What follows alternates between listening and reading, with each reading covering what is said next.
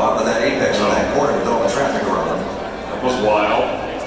Yeah, so watch Brett hall in the middle of this, in the middle of the field, back around to the start finish line. It is Alex Palou the leader, Christian Lundgaard second, Jack Harvey third, Alexander Rossi fourth, Felix